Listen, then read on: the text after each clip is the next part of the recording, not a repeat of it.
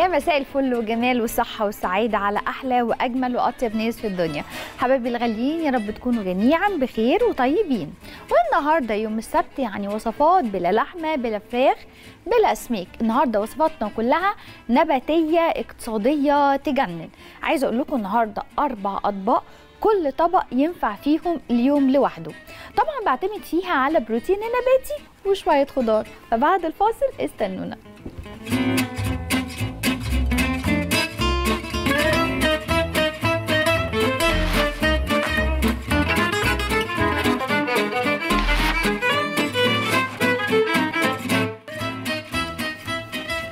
بلا لحمة بلا فراخ بلا أسماك يعني حاجات كلها في الغالب بتكون صحية. بعتمد بقى على شوية بقوليات ناخد منهم شوية بروتين وفيتامينات ومعادن أعتمد فيها على الخضار على المشروم على الكرنب اول وصفه معايا هي ميكس رهيب.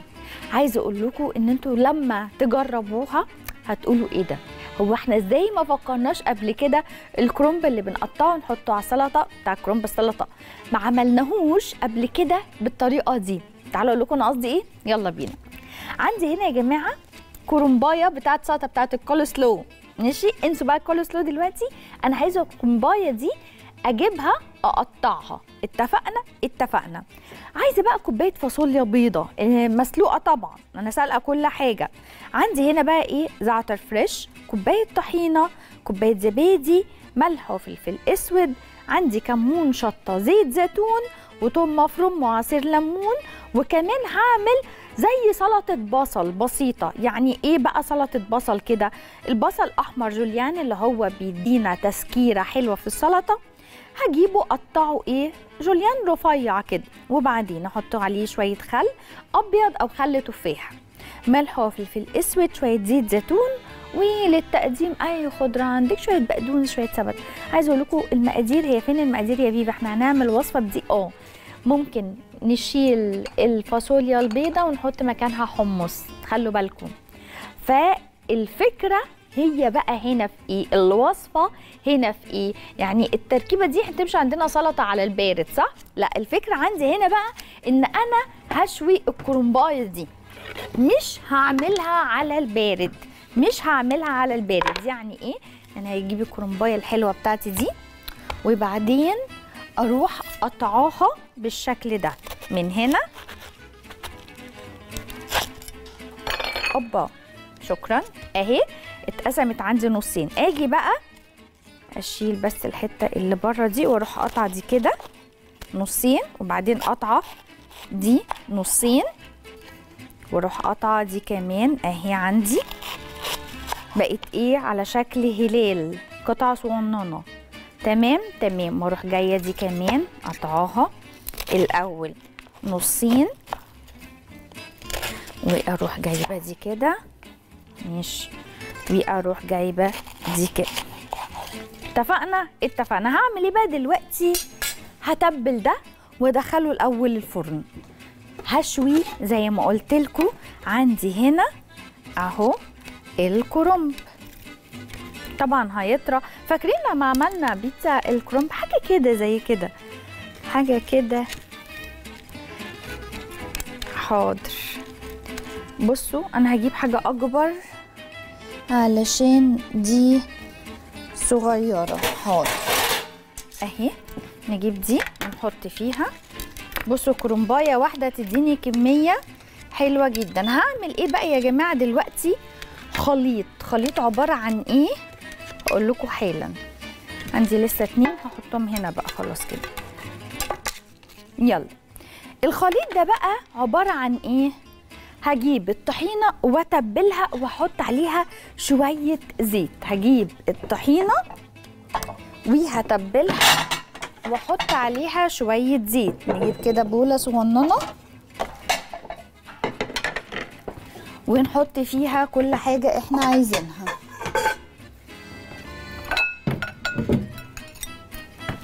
أهي. حبة طحينة صغيرين. تمام؟ وأحط طبعا هحتاج طحينة تاني. أحط عليها بقى إيه؟ شوية شطة وكل الحاجات اللي على جنب كده اللي أنا بحطها في كل حاجة اللي هي ملح وكمان عندي هنا فلفل أسود رشة كمون رشة بابريكا وأهم حاجة في ده كله زيت الزيتون. ليه بقى؟ علشان يقرمش لي عندي هنا شوية الايه الكرنباية. أهي وادهن بقى. أدهن عندي هنا بقى إيه؟ بصوا بقى تديها لون إزاي؟ أنتوا عارفين يا جماعة إن إحنا لو مش عايزين حاجة تلزق في آه يعني كيك مش عايزينه يلزق في الصينية اللي هندخلها الفرن. هنسوي كيك مثلا في صينية. أنتوا عارفين ان أنتوا لما تدوه فرشة طحينة الحاجة ما تلزقش. ما تلزقش ما تلزقش. فرشة طحينة الحاجة ما تلزقش. وكتير بحط مش هتتخيلوا للبسبوسة فرشة الطحينة دي. فعلا ما بتخليش الحاجة تلزق خالص. فهنا بقى هتديها قرمشة ومش خليها إيه تلزق خالص. عندي هنا في الصاج. وطعم طبعا. ليه؟ لأن أنا حاطة هنا في الطحينة دي. تتبيلة حلوة. حاطة إيه؟ شوية شطة طبعا اختياري طبعا يا جماعة. كل ما أقول الشطة أقول لكم إيه؟ اختياري. علشان أنا عارفة ترجعوا تقولوا لي انت بتحبي الشطة قوي يا فيفا. أنا عارفة بس أنا بقول اختيار طبعا الشطة من الحاجات الحارقة. عشان كده بنحطها في المحشي أكيد طبعا بهزر. لكن هي من الحاجات الحارقة. بس طبعا في المقبول يعني في المعقول. بس كده. أنا هنا دهنت إيه؟ كل الكرنب عندي. بالخلطه البسيطة دي اللي هتديله طعم وقرمشة. تعالوا ندخلها الفرن. طيب هتتشوي. أكون أنا بقى حضرت عندي هنا طحينة وزبادي. حضرت بقى إيه؟ طبق كده رئيسي عندي. لما تطلع تترص عليه. عارفين كده إن ياخد بقى تحطوه له في سندوتشات تاكلوه كده كسلطة بس هي سلطة غريبة عجيبة جميلة. هدخله الفرن ونروح لفاصل ونرجع نشوف هنعمل إيه. استنونا.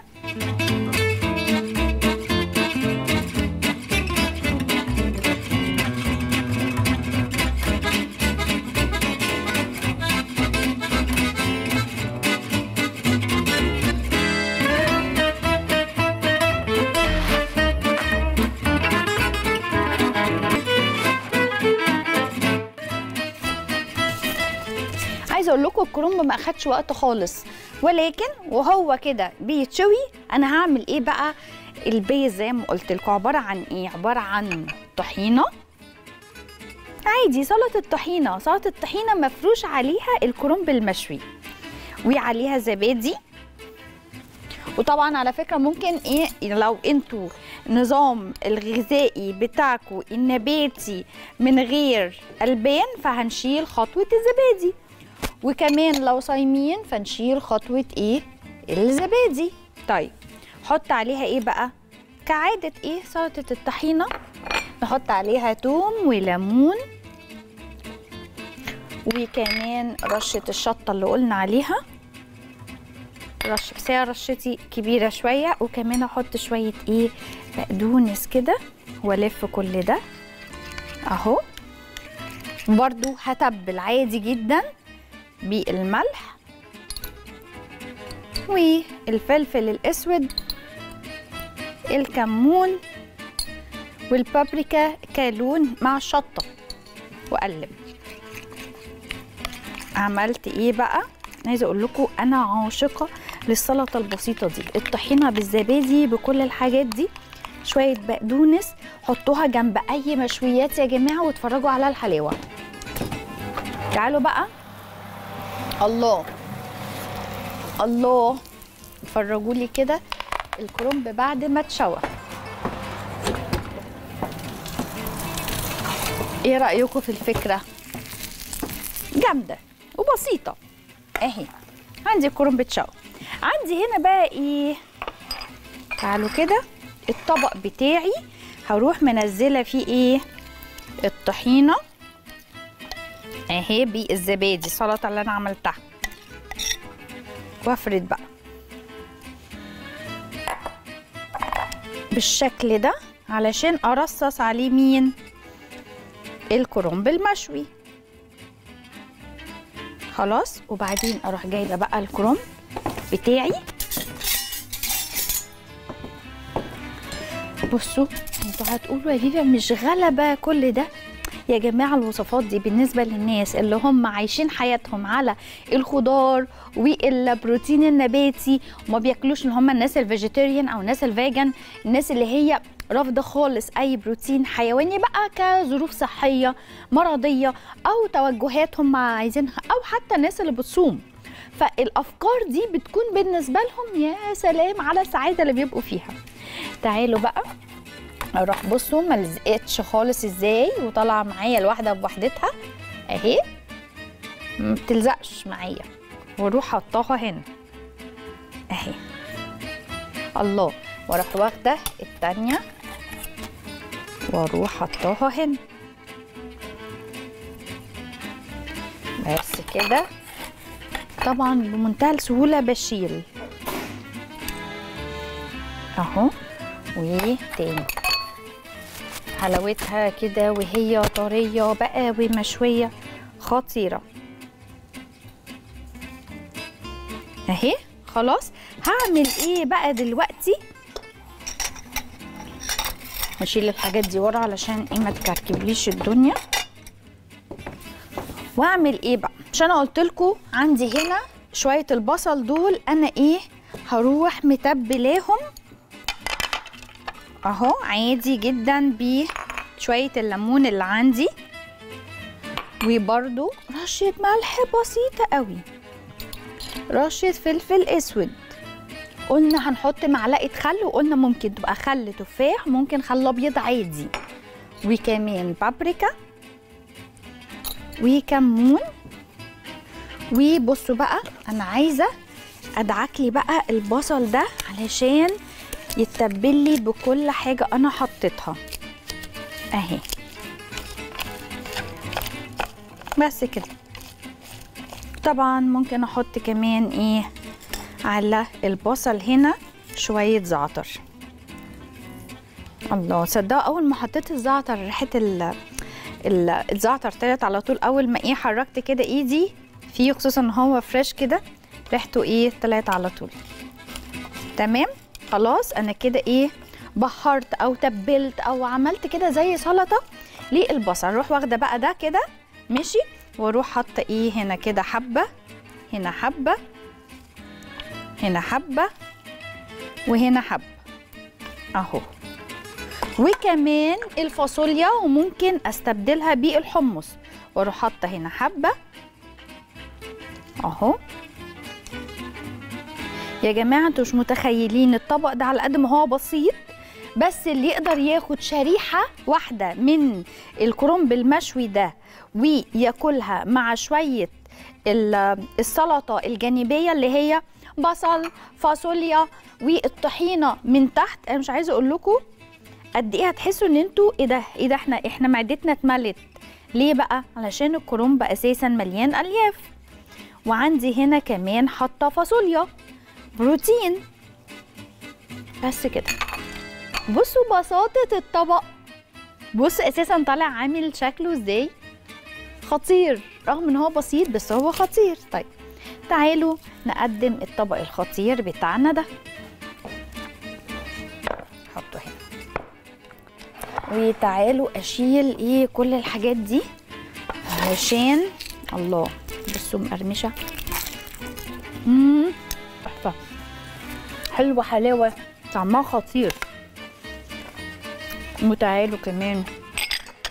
نلم إيه الليلة كده علشان ندخل في الوصفة الحلوة قوي اللي إيه بعدها. ممكن نخلي هنا معانا البقدونس علشان أنتوا عارفين أنا بحب إيه أرش على طول رشات حلوة كده على إيه الأكل. كفايدة وكإيه كطعم. وكطبعا إيه صورة حلوة يعني تحسوا كده إن الأكل ملون. ندخل على اللي بعده. يلا ندخل على اللي بعده. ظبطت الدنيا كده وروقتها. اللي بعده بقى هنعمل بطاطس. عارفين البطاطس بتاعت زمان؟ هي دي اللي هنعملها. اللي هي عبارة عن إيه؟ بطاطس بانيه. يعني متهيألي مفيش حد فينا أمهاتنا ما كانتش بتعمل لنا إيه البطاطس دي. من من قديم الأزل. طيب هنعملها إزاي؟ هقول لكم هنعملها إزاي. أول حاجة عندي هنا بطاطس مسلوقة. عندي بصل مفروم ناعم. عندي كوباية من البقسماط ممكن أستخدم نشا. عندي ثلاث فصوص توم مفرومين. معلقة كبيرة صلصة. محتاجة كمان حزمة بقدونس مفروم نص. يعني عارفين كده نص الإيه؟ أو لو عندك الحزمة صغننة فهناخد الحزمة بحالها عندي شطة حمراء كمون وبقى بعد كده أروح منزلاها في بيض وبعد كده أروح حطاها في فيجيتار واتفرجوا على حلاوتها. نقول كمان؟ نقول كمان. يلا بينا. أنا هعمل بطاطس يا جماعة بطاطس البانيه بطريقة سهلة جدا جدا ومش هتاخد معايا وقت وهتديني كمية والولاد هيحبوها قوي وطبعا مغذية. إيه هي بقى؟ أقول لكم حالا. البطاطس هسلقها واحط عليها بصل مفروم ناعم كوباية من البقسماط ثلاث فصوص توم مفرومين معلقة كبيرة صلصة بقدونس ملح وفلفل أسود شطة كمون بهارات. دي دايما أقول لك إيه؟ دي بتاعتك البهارات بتاعتك. أنا ما بحبش الكمون. اخدتوا بالكم إن من مكالمات ناس كده تقول لك لا أنا ما بحبش الكمون. لا أنا بشوف إن الفلفل الاسود حامي عليا. خلاص شيلي اللي انت مش عايزاه. واحط كمان كمون وللتغطيه بقى. محتاجة بيضة ممكن عليها إيه؟ شوية لبن وبعدين ننزل فيه فيجيتار طيب هعمل إيه يا جماعة؟ كالمعتاد هجيب البولة بتاعتي وايه؟ ههرس البطاطس واحط عليها الآتي. طبعا البطاطس عندي تكون مسلوقة كويس قوي خصوصا اللي أنا ههرسها. لو ما كانتش مسلوقة كويس قوي إيه اللي هيحصل؟ هلاقيها عملت إيه؟ كتل معايا. لازم تبقى مهروسة حلوة قوي بالشكل ده كده.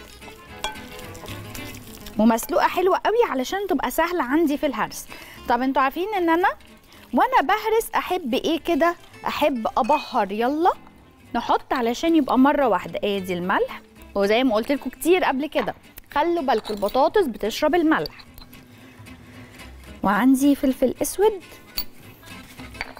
عندي أيضا كمون والبابريكا. أهي. رشة الشطة اختياري. اللي هنعملها. للأولاد طبعا فمش هنحط شطة ولا الكلام ده. وهنحط إيه؟ شوية توم كمان. وكمان عندي هنا معلقة إيه؟ الصلصة. وتعالوا نهرس كل ده الأول. أهو. امم الريحة عندي ظهرت. بس كده بهاراتي بسيطة جدا. أهي. ما بتاخدش معايا وقت خالص. بالعكس هتديني كمية. بس كده هرستها. الهرسة اللي هي. مهم جدا بس أتأكد إن كله اتهرس وكله تمام ما يبقاش عندي أي تكتلات أو أي قطعه لسه إيه ما طلهاش إيه الهرسة. أهي. طيب تمام. لا كده حلو قوي هحط إيه زي ما قلت لكم بقسماط. خلاص؟ وقلنا هنحط إيه كمان؟ بصل. وهنحط بقدونس ممكن أحط لها فلفل ألوان ممكن أحط لها اللي أنا عايزه. بس على شرط وأنا بحط لها الحاجات دي يعني آخد بالي ما أحطش حاجات تخلي فيها مية. ما أحطش حاجات تخلي فيها مية فتبقى مفككة معايا. أهو. هلبس بقى جوانتي علشان ألملم كل ده وبعدين أروح إيه كسره البيضة. وحطاها عندي هنا في طبق وعندي فيجيتار أو بقسماط. على فكرة ممكن بيض بس خلوا بالكم. يعني ممكن بيض بعد ما لبسته. ممكن بيض بس وممكن بيض وبقسماط وممكن بيض وفيجيتار. فالمتاح عندك اعملي بيه. والنتيجة هتطلع حلوة جدا.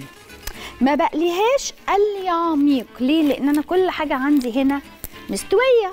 فما بقليهاش قلي عميق أمال بعمل إيه؟ هقول لكم حالا بعمل إيه. آدي كده عندي. خلاص كده كل دول هشيلهم. وهكسر هنا البضاية. أهي.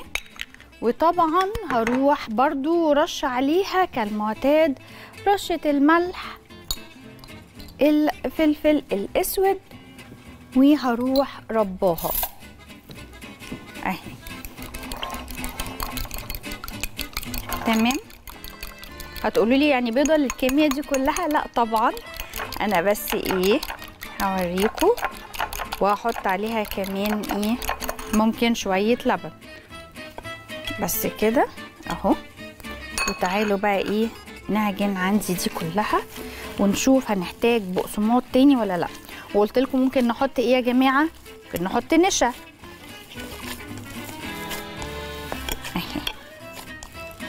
وش كده؟ أنا هحتاج طبعا بقسماط تاني اهي يبقى أنا حطيت كل إيه؟ كمية البقسماط اللي عندي. هعمل إيه بقى دلوقتي؟ هروح ماسكة وعاملة زي إيه؟ عارفه عارفين كنا عملتها كنا عملتها كنا عملناها قبل كده اللي هي عاملة زي ال- الكبابي اللي هي زي الكفتة الغمراوي. بنفس الشكل كده نعملها أو نعملها على شكل إيه؟ عادي جدا صوابع زي ما أنتوا عايزين. أهي مسكت طبعا نفسها. وأروح عاملة كده. عندي هنا الطاسة بتاعتي سخنت أحط فيها شوية زيت. اهو بقول لكم مش قلي عميق. وبعدين أروح حاطة فين بقى؟ في البيض. مطلعة من البيض. حاطة فين؟ في الفيجيتار. أو زي ما قلت لكم ممكن أكتفي عادي جدا بالبيض بس. ممكن جدا أكتفي بالبيض وبرده هتطلع خطيرة. بس أنتوا عارفين يا جماعة فيجيتار أو بقسماط هيطعمها أكتر وأنا بحب أكتر إيه؟ الفيجيتار. أهي. وأروح حطاها عندي في الزيت. وأعمل تاني. أخدتش معايا وقت هو بس سلق. الخضار عندي هنا مش كتير بس أنا أقدر أكتره وأحط كل حاجة أنا عايزاها. ممكن أبشر كوسة وأحطها على فكرة. واخدين بالكم أنا بشتغل بإيد في البيض والإيد التانية في البقسماط علشان ما هدرش فيه أو في الفيجيتار عشان ما هدرش فيه. خلاص؟ أهو. خدتش وقت خالص معايا. إيه رايكم أشكل حبة وأقليهم ونرجع نشوف هنقدمهم إزاي وهنعمل كمان معانا لسه طبقين أحلى من بعض. استنونا.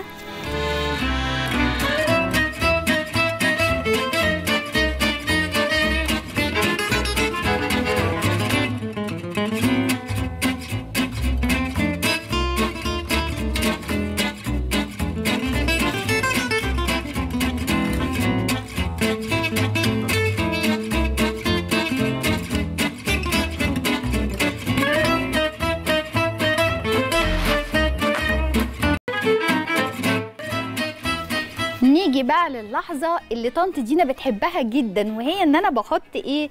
الخضرة على الحاجة اللي أنا عملتها. وبعدين ننزل بقى بشوية النعناع برضو كده على إيه؟ بس كده. إيه رأيكم؟ طب بذمتكم شكلها قبل ما أحط البقدونس والخضرة أحلى ولا بعد شوية البقدونس والنعناع دي أحلى؟ وصفة بسيطة وسهلة وعايزة أقول لكم بقى في الكنترول عندكيش عيش بلدي. ها يا سيدة عندنا عيش بلدي؟ لا. عندكيش مش عارف إيه طلبات بقى. هتعجبكم جدا جدا بسيطة وسهلة وتجنن ومغذية للولاد.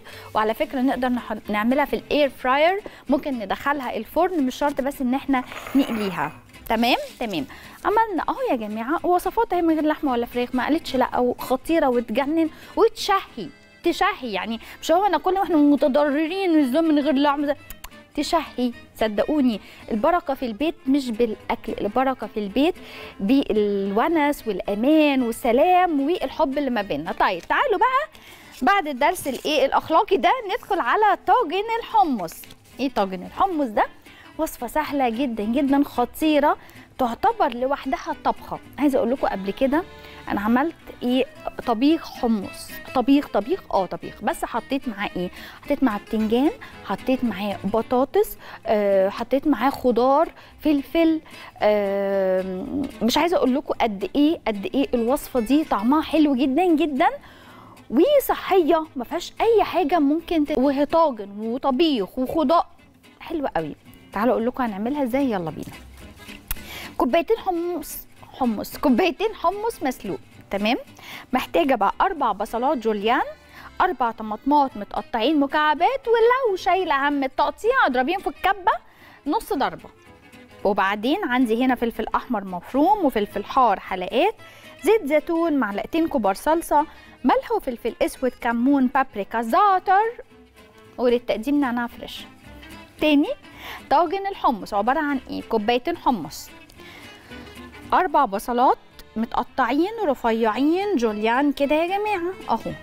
خلاص وبعدين عندي هنا طماطم متقطعة وممكن جدا زي ما قلت لكم أروح ضربها في الكبة نص ضربة. عندي كمان هنا فلفل أحمر مفروم ممكن أبدله فلفل أحمر اللي هو الحلو. ممكن أبدله بفلفل رومي مش شرط بس أحمر. خلاص؟ اللي عندي فلفل رومي العادي. كمان محتاجة فلفل حار حلقات واختياري زيت زيتون معلقتين كبار صلصة ملح وفلفل أسود كمون بابريكا زعتر وللتقديم طبعا نعناع fresh طيب هعمل إيه؟ هحط كده عندي الطاسة على البوتاجاز وأحط فيها شوية الزيت الزيتون. وبعدين هروح منزلة فيها البصل. أهو. طبعا لا هصفر ولا هحمر أنا بس هدبل وهتبل. هدبل وهتبل بس كده. وعندي هنا كمان رشة الزعتر. ونحط بقى الحاجات بتاعتنا اللي بنحطها. بهاراتنا البسيطة جدا كمون فلفل أسود ملح بابريكا ونقلب. زي ما قلت لكم أنا مش بصفر ولا بحمر بصلة أنا بدبلها خليها تدبل وخليها إيه كمان؟ تتبل وأقلبها كده. وبعدين عندي هنا هلاقيها خلاص اتلفت كده في الزيت. طبعا عندي كل حاجة هنا لو خدتوا بالكم مش محتاجة تسوية. أمال ليه سميتيه طاجن؟ عشان بس أنا كده هدخله الفرن ياخد من ريحة الطاجن حبة قليلين قوي فين كده زي إيه؟ اديله طبقة وزي ما قلت لكم الطبق ده ممكن أحط معاه بطاطس. بس أنا معتمدة بشكل كبير على بروتين اللي جاي لي من الحمص. الحمص بس مش غني بالبروتين لا هو كمان يا جماعة فيه فيتامينات وأهمها فيتامين سي اللي إحنا بنحتاجه جدا جدا في تغيير الفصول. بنلاقي نزلات البرد بتزيد بنلاقي إن إحنا بنتعب كتير. توم وبصل وحمص وليمون وجنزبيل. الحاجات دي مهمة جدا جدا جدا في أكلنا الفترة الجاية. علشان زي ما بقول لكم الحاجات دي مليانة بفيتامين سي. طبعا البرتقال هتلاقوا الجوافة سبحان الله كده هتلاقوا كل الحاجات اللي مليانه فيتامين سي بتطلع في فصل الشتاء. أهو.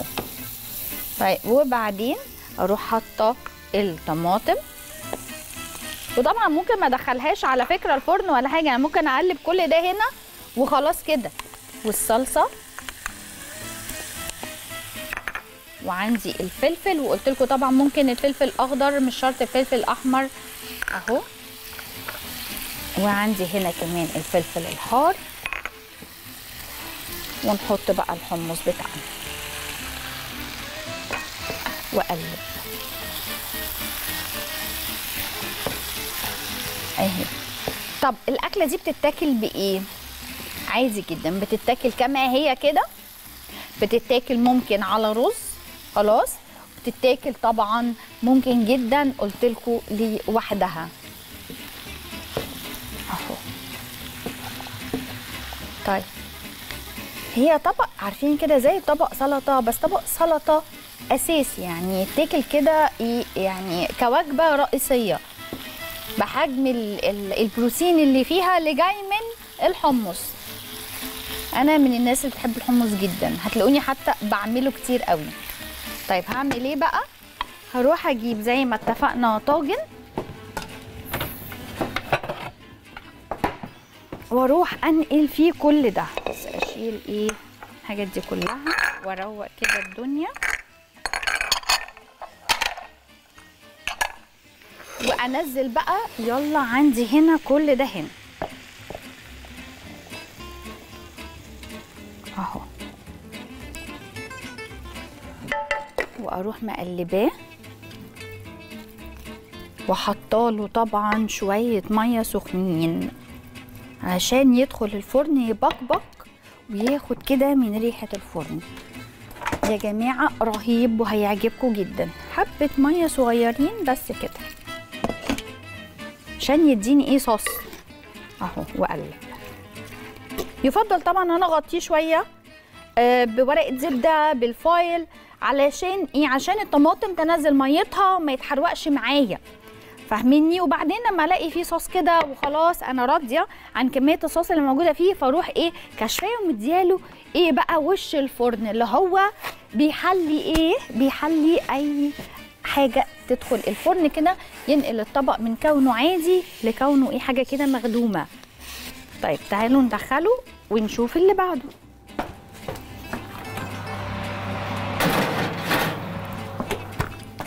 طيب إيه اللي بعده. قالوا بس نشيل الحاجات دي كلها ونروق إيه الدنيا. اللي جاي بقى يا جماعة في ناس كده عاشقة للمشروم. حقيقي المشروم مهما عملت وصفات كتير منه ألاقي الناس بعتلي فيفيان ما عندكيش وصفات مختلفة ولذيذة للمشروم؟ عندي. المشروم ده من الحاجات اللي هي قلت لكم قبل كده طبيعية. يعني ما بيدخلش في زراعتها أو نموها أي شكل من الأشكال اللي هي غير عضوية. يعني هو حاجة طبيعية جدا جدا. علشان كده هو هتلاقوه بيبوظ بسرعة قوي. مجرد ما نجيبه نحطه في التلاجة ما عندوش أي مواد حافظة. ما هو كده. أول ما بنجيبه نحطه في التلاجة إيه اللي يحصل؟ نلاقيه يوم بس كده باظ. فيفا ما عندكيش طريقة حفظ ليه المشروم؟ عندي طبعا. أنا جبت المشروم. هقول لكم بس كده. طبعا قلت لكم كتير قبل كده المشروم ما بيتغسلش ابدا. ليه؟ علشان هو الملمس بتاعه مسامي. مسامي هو مش مقفول. فأول ما بغسله هلاقيه أتحول في إيدي زي إيه؟ السفنجة.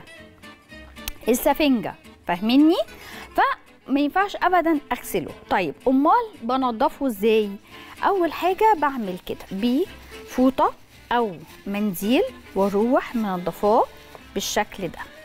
بشيل الطبقة البسيطة جدا جدا اللي على وش إيه؟ المشروم. ولكن ما بغسلهوش ابدا. أهو. طيب وبعدين بعد ما نضفته التنظيفة الحلوة هستخدمه دلوقتي. طيب أنا مش هستخدمه وبجيب كمية. وبعدين بتبوظ مني. وأنا بحبه جدا في الأكل سواء بقى في مكرونة سواء بقى في أي حاجة. أنا بحبه جدا في الأكل. هشيله إزاي؟ هحفظه إزاي؟ أحطه طبعا مع اللحمة. بعمل صوصات طبعا بالمشروم أشيله إزاي؟ هتقطعيه بعد كده جوليان وتنزليه في طاسة سخنة بشوية زيت زيتون. وممكن تروحي متبلاه تتبيلة بسيطة ملح وفلفل أسود أو ملح بس.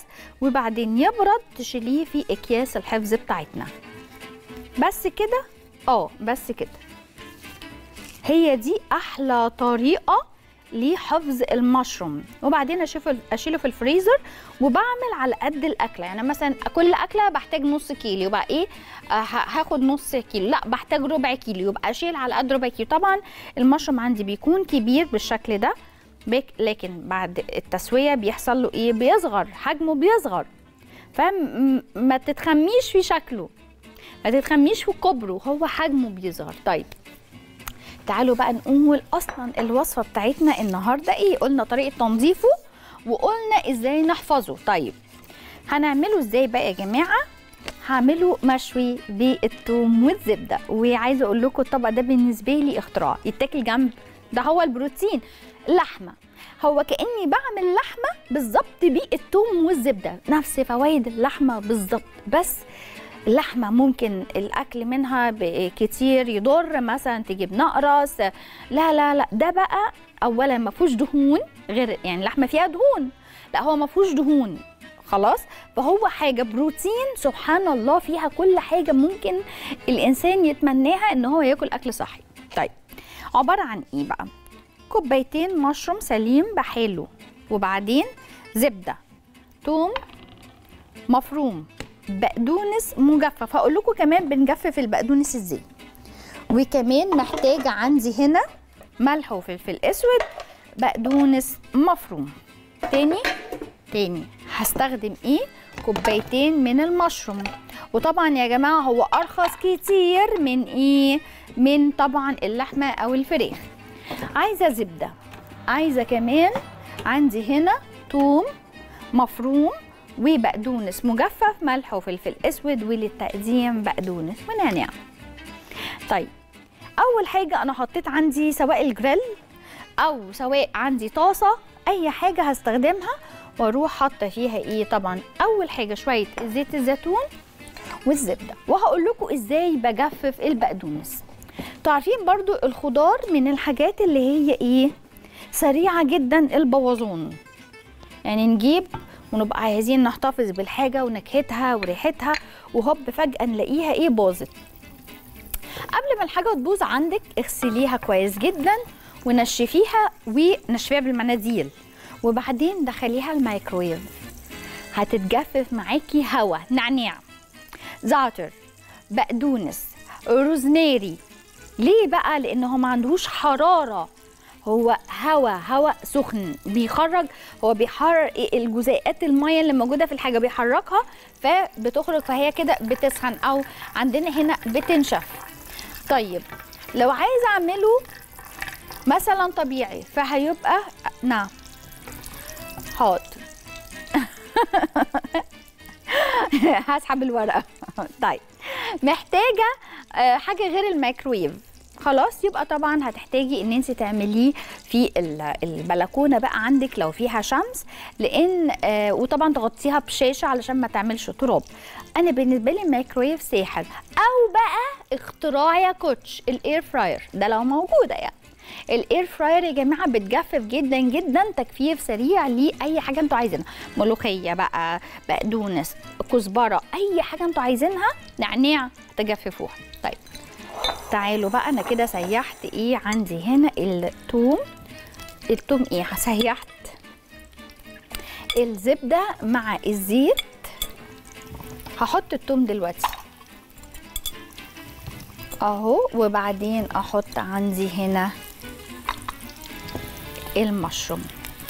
بصوا بقى هسيبه طبعا يستوي وبعدين هروح حاطة عندي الحاجات التانية اللي هي توم وزي ما اتفقنا نحط رشة فلفل وملح. أهو. عايزة أقول لكم الزبده بتطعم جدا جدا المشروم بتخلي طعمه حلو قوي. وتعالوا نرش رشة بابريكا كمان. مهم. وأقلب.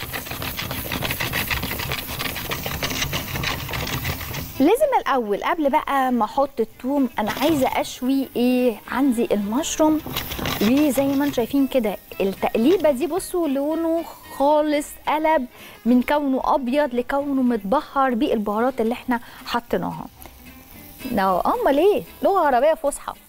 أحط بقى بقدونس المجفف اللي قلنا إزاي هنجففه لو مش عندنا نروحش اشتريه ده أنا على طول هدخله الميكرويف. أو زي ما اتفقنا نروح عاملين إيه حاطينه بس ده بياخد وقت طبعا. في الاير فراير طبعا بياخدش وقت برضه. وبعدين بصوا بقى هروح حاطة شوية إيه زيت صغننين تاني كده وأروح منزلة إيه في النص كده الثوم أهو. لأن أنا عندي هنا المشروم بيشرب الزبده والزيت. فأنا عايزة إيه أقلب بعد كده الثوم ده وطبعا الثوم ده هنا كمان بيتبخر معايا مكان المشروم. وأقلب بقى. كله. في ناس تقول لي لا لا أنا مش عايزة توم. خلاص شيلي التوم. خالص شيليه. اشويه بس كده. هو بشوية البهارات. طعم الزبده أساسا لوحده. خرافة. مع شوية زيت الزيتون وألف هنا. وزي ما قلت لك بيتاكل جنب إيه؟ شوية رز شوية مكرونة في ناس بتلقط المشروم كده آه، آه، لوحده. وطبعا الناس اللي بتعمل كده هم وش بياكلوا أكل صحي وبيخسوا. طيب عندي هنا الطاجن خلاص. أهو. طلع لي وعايزة أقول لكم ريحته حلوة قوي قوي وفيه صوص كمان. بصوا أهو. شايفين الصوص اللي فيه؟ بقول لكم يتاكل مع رز وصدقوني مع مكرونة ويتاكل لوحده. أهو من تحت كده. في صوص. ماشي ماشي براحتك. أهو بس سخنه على إيدي. أهو. طيب. وتعالوا نحط كمان عندنا هنا النعناع. وبس كده. فاضل لي إيه؟ فاضل لي طبق المشروم الخطير ده المتزبد أهو. ريحته تجنن أصلا ريحته خطيرة. ويبقى كده إيه؟ أنا خلصت. آخر حاجة. أفكار يا جماعة غير اعتيادية بس إيه رأيكم في النتيجة؟ سواء أول حاجة عملناها عملنا الكرنب المشوي وحطيناه على إيه؟ على آه، صوص من الطحينة والزبادي واستخدمت الفاصوليا البيضاء. عملت شوية تتبيلة للبصل الكرنب كنت مدياله طعم قبل ما يتشوي. عايزة أقول لكم وصفة خطيرة تأكل. عملنا البطاطس البانيه. بصوا شكله أساسا. خطير. عملنا كمان البطاطس البانيه اللي يعني طفولتنا كلنا. ما كانش في حد مش بياكل البطاطس دي. فإحنا إيه بنحاول نفكر إيه بعض بيها كده. وكمان عملنا طاجن الحمص الخطير وآخر حاجة عملناها الله المشروم المزبد المشوي. تحفة. هرش بقى رشة إيه بقدونس كده. هو أساسا مش محتاج حاجة سندوتشات يتاكل مع رز يتاكل كمان مع مكرونة أصلا خرافي. وخلصت حلقتنا. يا رب تكونوا اتبسطتوا معايا النهارده ولقيتوا أفكار مختلفة تنفذوها طول الأسبوع. زي ما قلت لكم مهم جدا إن إحنا نفصل في يوم اتنين تلاتة. أربعة. اللحمة مش أساسية على فكرة يوم لحمة يوم فراخ ده حلو قوي. وعندنا هنا أفكار ممكن نبني بيها حاجات تانية في ال- الأكلات بتاعتنا وناخد البروتين مش شرط بس من اللحمة والفراخ. لا ممكن ناخده زي ما قلت لكم من البقوليات ممكن ناخده من كمان المشروم. يا رب تكونوا اتبسطتوا معانا النهارده وبكرة إن شاء الله هتلاقونا من واحدة لاثنين والعادة الرابعة. صباحا بحبكم من كل قلبي. باي باي.